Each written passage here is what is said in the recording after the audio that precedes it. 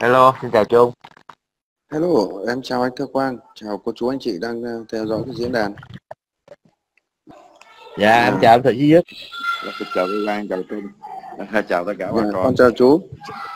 Dạ thì ờ, ờ, về góc nhìn cá nhân của của của em á, thì em nhìn nhận như thế này. À, đối với một quốc gia hay là một bất kỳ một xã hội nào thì nó cũng đều tồn tại các cái vấn đề của nó chứ không thể là không thể tồn tại được. Ít nhất nó phải có vấn đề này hoặc vấn đề kia. Thế thì ờ, cái câu hỏi đặt ra đó là Hàn Quốc có trở thành một cái hình mẫu để cho Việt Nam hướng tới hay không đó? Thì em khẳng định là không. Bởi vì sao tại như thế? Chúng ta đặt ra mấy cái vấn đề như thế này. Thứ nhất là cái cái cái đất nước Hàn Quốc nó phát triển được như ngày hôm nay đó thì chúng ta phải phải xét lại cái yếu tố về uh, tìm hiểu lại về góc độ về lịch sử đúng không ạ? Ừ. thì đất nước Hàn Quốc người ta đã phát triển là nhờ đâu? Đấy có phải nhờ lính đánh thuê sang Việt Nam hay không? Có Ừ. phải nhờ đưa phụ nữ đúng không ạ? Ờ, gọi chúng ta gọi là nếu mà nói lính đánh thuê kiếm tiền thì cũng là buôn bán ờ, thể xác. Mà nói về cái người phụ nữ thì cũng là buôn bán thể xác cả thôi. Những người phụ nữ đã phục vụ cho ờ, lính Mỹ tại miền Nam Việt Nam Ừ. thì cũng là buôn bán xác thịt thì từ cái cái đó thì người ta lấy một cái tiềm lực. Đồng thời người ta chấp nhận một cái điều kiện đó là nằm dưới trướng của Mỹ để người ta thu hút được cái đầu tư từ cái tài trợ của Mỹ để người ta đạt được như ngày hôm nay. Thế về cái mà để nhìn nhận á, tại sao chúng ta lại nói cái yếu tố đó? Thì cái yếu tố là yếu tố đó là yếu tố đầu tiên. Nó là xuất phát điểm. Thế thì hiện nay ở Hàn Quốc cũng vậy đúng. Là có cái tập đoàn kinh tế rất là mạnh. Rất là mạnh. Ví dụ như tập đoàn Samsung chẳng hạn. Tập đoàn Samsung cũng là một trong những tập đoàn mạnh.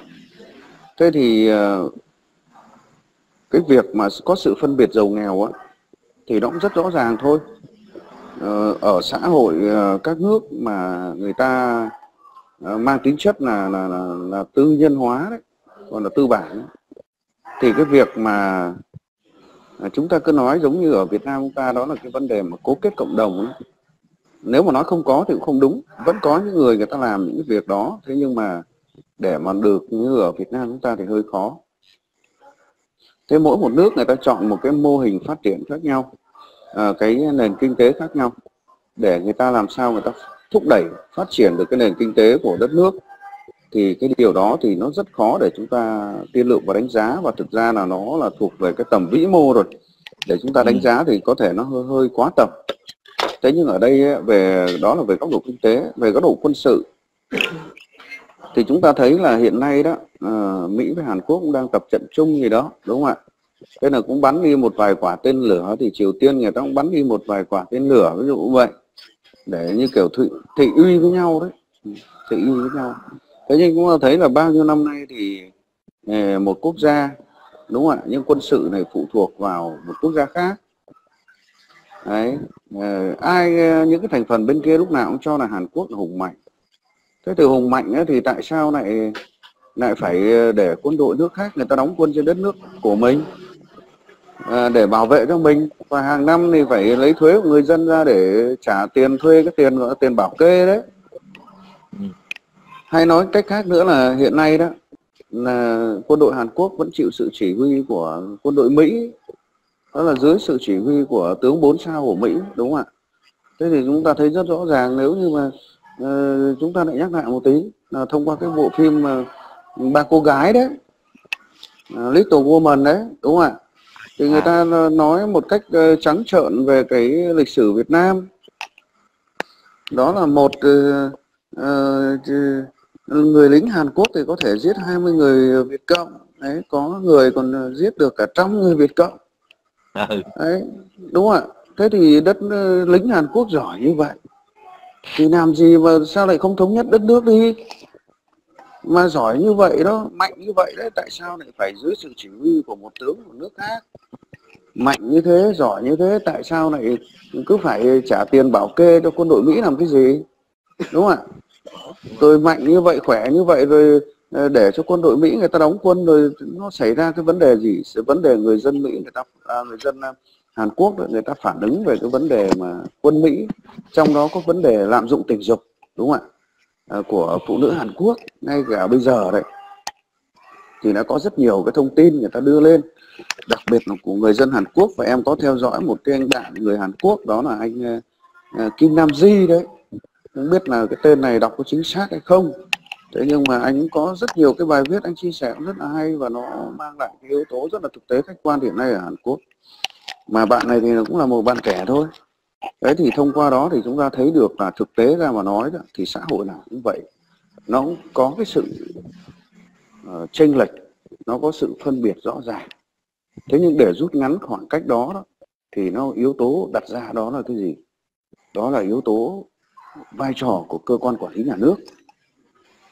Thế thì ở Việt Nam chúng ta cũng vậy thôi cũng có chứ không phải là không có. Thế nhưng cái khoảng cách đó đó thì nó bị hạn chế bởi sao? Bởi vì là à, trong cái xã hội à, tư bản đó, thì người ta lại đề cao cái cái cái tư nhân hóa. À, tư nhân hóa nó giống như hiện nay là à, hiện nay nó có cái cái cái cái việc mà ở thành phố Hồ Chí Minh đang thiếu xăng đấy.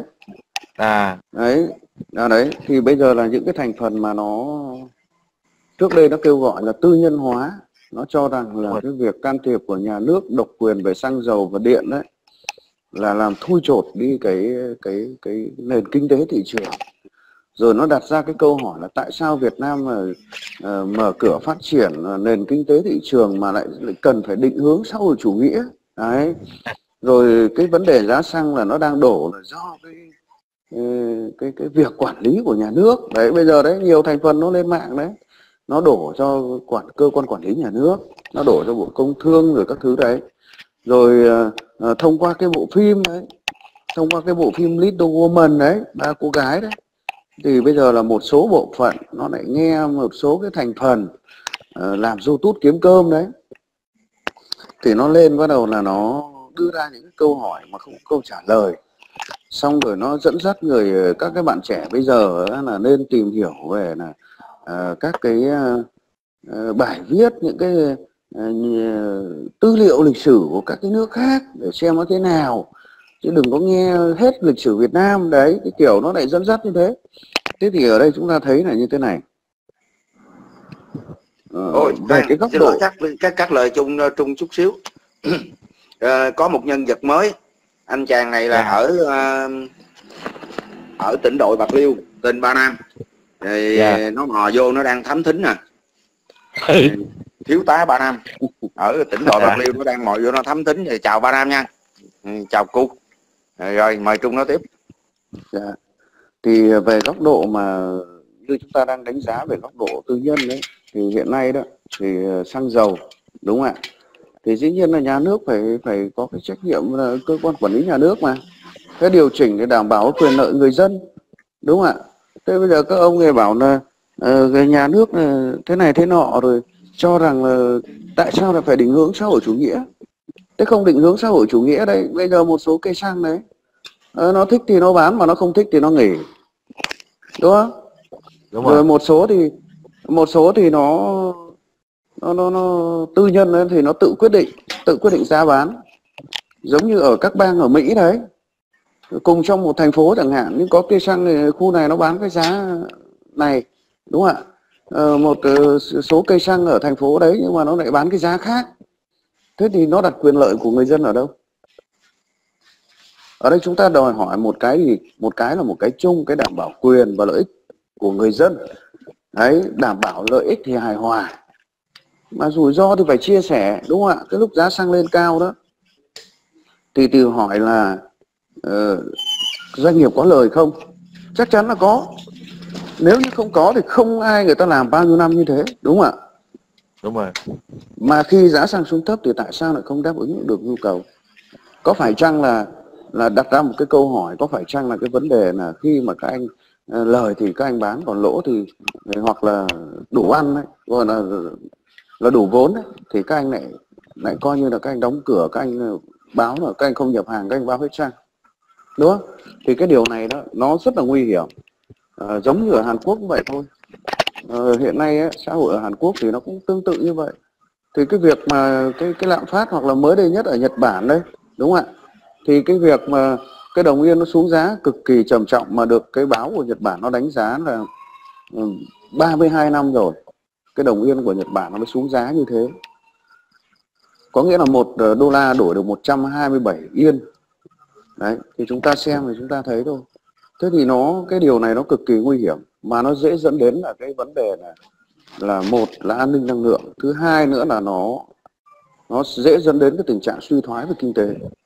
Thế thì đòi hỏi cái cơ quan quản lý nhà nước, cái vai trò thì chúng ta thực hiện cái vấn đề mà mà mà bình ổn giá xăng và cái vấn đề mà mà đảm bảo cái quyền lợi người tiêu dùng.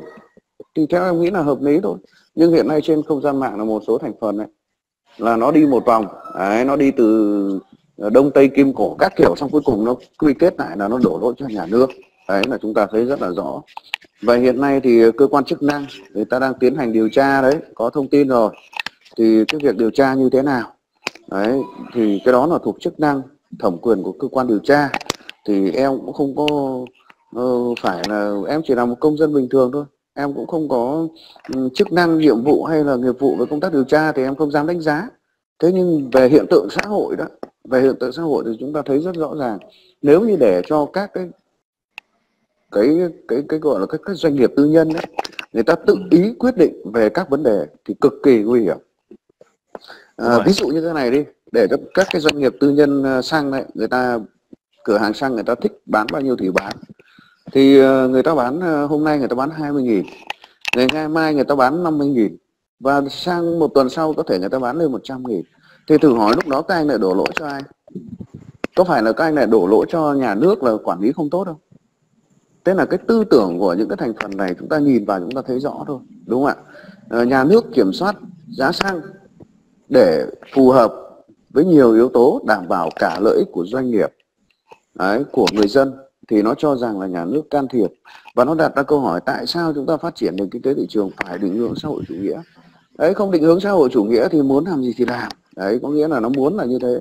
Thế thì đến khi mà chúng ta cho tư nhân hóa nó thích bán thì nó bán thích nghỉ thì nó nghỉ. Mà hôm nay nó thích bán ra này ngày mai thích bán ra khác.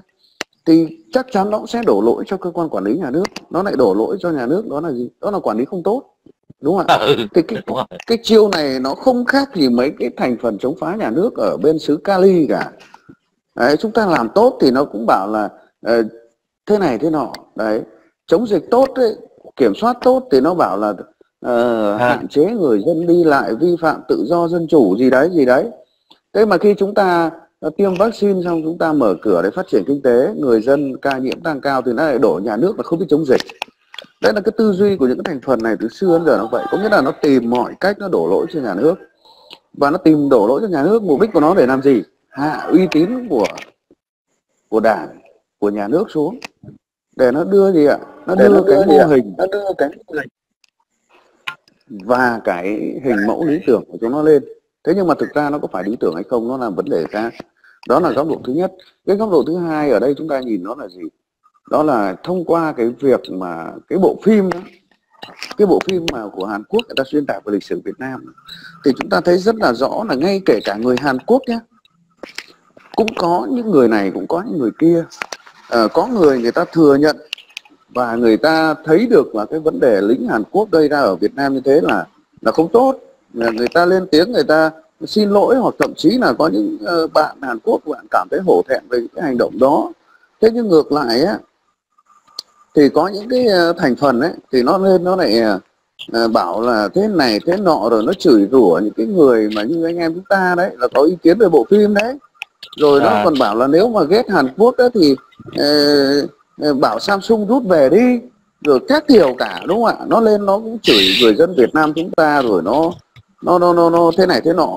Nó nó cũng chẳng phải tốt đẹp gì đâu. Đấy, chúng ta cứ nhìn thẳng vấn đề đi. Còn thực tế là mà nói tập đoàn Samsung tại sao người ta lựa chọn phát triển ở Việt Nam. Nó thực sự nó phải có lợi ích thì nó nó mới đặt ở Việt Nam chứ, đúng không ạ? Chứ nếu như mà các cái tập đoàn kinh tế người ta không cảm thấy ở Việt Nam đủ các cái điều kiện, các cái yếu tố để người ta kinh doanh, mà nguyên tắc của kinh doanh là người ta phải có lời, đúng không ạ? Thế thì người ta không có lời thì tại sao người ta lại đặt nhà máy ở Việt Nam? Nó có nhiều yếu tố về an ninh chính trị đảm bảo này, đúng không ạ? Về uh, cái ờ, trình độ của công nhân này trình độ lao động sản xuất này đúng không ạ? Rồi nhiều các yếu tố khác nữa thì đòi hỏi khi người ta kinh doanh thì người ta phải tính cái yếu tố nhiều yếu tố trong đó phải đảm bảo cái quyền tối đa của người ta đó là vấn đề lợi nhuận. Chứ không phải là nghe những cái thành phần này thành phần kia thì qua đó chúng ta thấy được và nhiều cái cái thông tin khác nhiều clip khác để thấy được là gì.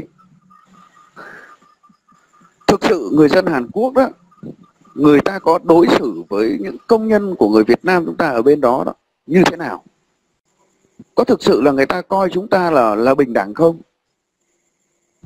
Thì chúng ta theo dõi chúng ta thấy thôi người ta cũng có sự khinh biệt rất rõ ràng. Thì thực tế ngay cả trong nước Hàn Quốc thì chúng ta theo dõi chúng ta thấy qua cái vụ bão vừa rồi Hàn Quốc đấy những cái ừ. ngôi nhà mà bán hầm đấy đúng không ạ? Là dành cho những ai? Là dành những người nghèo à, những người mà thu nhập thấp thì khi mà bão đến thì người ta không kịp di chuyển không kịp di tản thì nó cũng dẫn đến những cái hậu quả rất là, là thương thương vong rất là, là là nhìn chúng ta nhìn cái cái vào chúng ta thấy những cái, cái hoàn cảnh nó rất là thương tâm đúng không ạ? Thế nhưng cái đó nó là cái mặt trái của Hàn Quốc. Rồi các cái vấn đề khác nữa chứ không phải là là Hàn Quốc cái gì cũng đẹp cả. Đúng lên phim nó đẹp đấy. Thế nhưng mà chúng ta xem phim thì nó mang tính hư cấu, đúng không ạ? Và nó mang nhiều yếu tố khác nữa, cũng là thần tượng đấy, sinh trai đẹp gái cả đấy. Thế nhưng mặt trái để đạt được thành công đó là gì? Đó là sự đánh đổi, đúng không ạ? Chứ không phải tự dưng mà có. Rồi là cái sự phân biệt đối xử giữa người giàu với người nghèo từ cái vấn đề là người ta cho rằng là thế này thế nọ. Và mới đây nhất này, em có chia sẻ một cái bài báo. Người ta viết về cái giới trẻ Hàn Quốc, người ta đã đã đi ra, bỏ ra nước ngoài để kiếm sống vì nhiều lý do, trong đó có lý do là không mua, không đủ điều kiện về kinh tế để mua nhà ở. Thế nhiều thành phần nó vào, nó bảo là à, người ta có tay nghề, người ta có trình độ, người ta đi, người ta phát triển ở nước ngoài. Đấy, mà trong khi đó ngay là dẫn từ báo Hàn Quốc người ta thống kê được, nguyên nhân chủ yếu là người ta đi đi lao động để kiếm sống. Đúng không ạ? Thế thì cái điều này chúng ta có thể thấy được là đối với những cái thành phần chống phá đất nước đấy thì nó cứ thấy các cái quốc gia đấy mà thân với Mỹ đấy. Thì nó ờ, bảo là đấy phải theo thế mà học phải theo thế thì nó mới giàu. Giống như một vài thành phần nó bảo là à, trước đây Việt Nam Cộng Hòa đấy là hòn ngọc viễn đông lúc đấy Singapore chỉ là một làng trài thôi bây giờ thì như thế nào? Đấy. Thế chúng ta nghe cái luận điệu của những cái thành phần đấy, chúng ta không khó để nhận ra những cái mà cái cách để nó dẫn dắt, nó cho rằng là thế này thế nọ. Mục đích của nó vẫn là gì? Đó là ca ngợi ngụy. Đấy, ca ngợi mỹ. Ca ngợi các cái cái cái nước tay sai đối với mỹ thôi. Thế tại sao nó không bảo chúng ta là, đấy, afghanistan đấy, người ta phát triển thế đấy đúng không? Thế sao nó không bảo là đấy, ôi giờ đất nước syria đấy, nó hiện đại, nó văn minh thế đấy sao việt nam không học syria đâu có nói đâu. À, trước đây đó trước khi mà mỹ mang tự do dân chủ nhân quyền đến các cái nước đấy đấy người ta đâu có bom rơi đạn lạc như bây giờ đâu. Thế mà sao rồi mang cái tự do dân chủ nhân quyền đến bây giờ đất nước người ta này nhà tan cửa nát lại đấm nhau thùm thụp thế? Đúng không ạ? Phe này đấm phe kia rồi bắn phá loạn cả lên người dân đi khắp nơi tứ xứ. Đấy người dân Ukraine sang thì được chào đón mà các cái quốc gia đấy sang thì bị xua đuổi bị át hủi đấy tuyên ngôn độc lập nhân quyền của Mỹ nói đấy mọi người sinh ra đều có quyền bình đẳng đấy đúng không? đấy cái quyền bình đẳng đấy.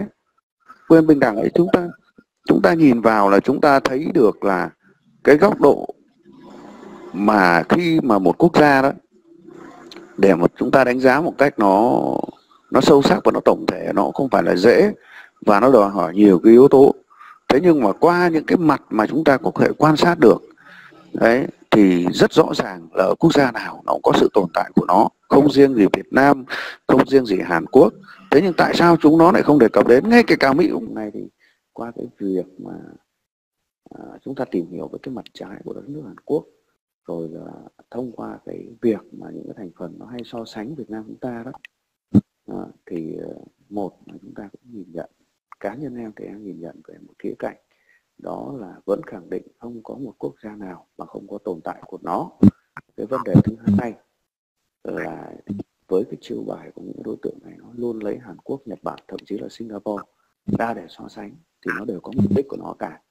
Chứ không phải là nó mang ý nghĩa tốt đẹp gì cả. Nếu như mà chỉ mà so sánh để mà thúc đẩy được á, thì cái gì người ta cũng so sánh cả đúng không ạ? Thế nên là mọi sự so sánh đều khập khiễng thì chúng ta nhìn nhận ở góc độ nào? Và chúng ta tìm hiểu thông tin như thế nào.